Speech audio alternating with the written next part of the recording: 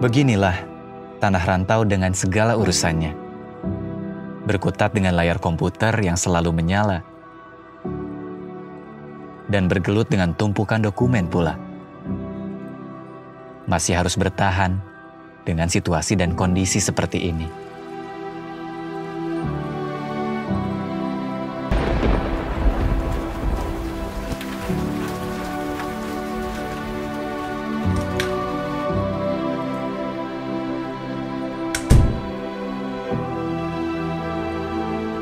Karena ketentuan pekerjaan yang mengharuskan keluar rumah.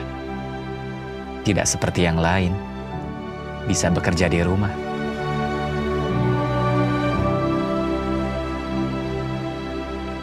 Suasana jalanan menjadi pemandangan sehari-hari. Tak ada yang berbeda para anak jalanan beserta kawanannya. Jalanan adalah dunia dan rumah baginya tak ada kesedihan dan ketakutan bagi mereka. Hidup di jalanan lebih mengerikan dibandingkan dengan wabah.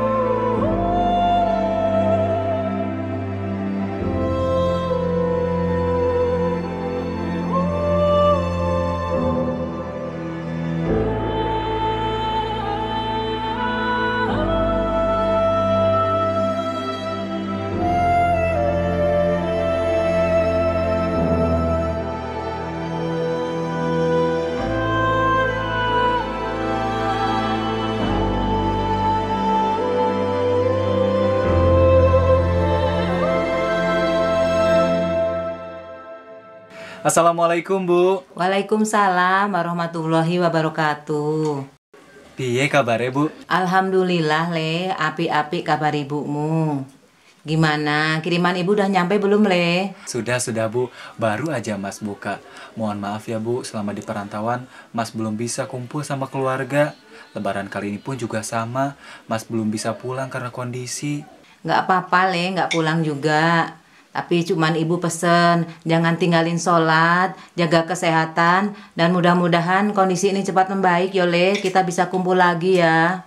Amin, amin.